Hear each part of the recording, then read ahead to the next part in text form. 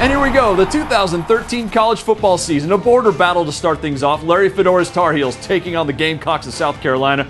Bryn Renner being chased around by Jadeveon Clowney. The Tar Heels actually did a great job containing him.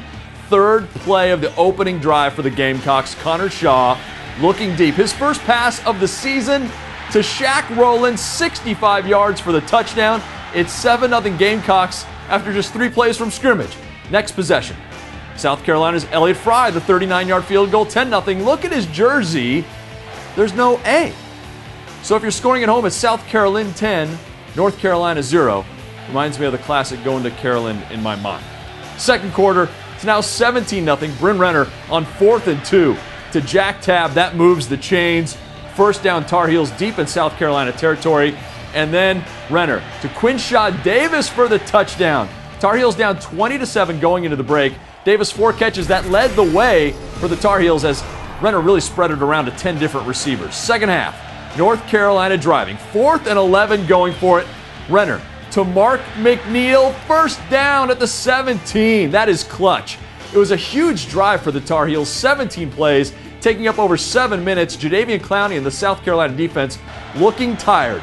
UNC trying to score third and goal. Renner gets pressured, tries to flip it to AJ Blue, can't quite connect. The Tar Heels would have to settle for a field goal 20 to 10. Can the North Carolina defense stop South Carolina?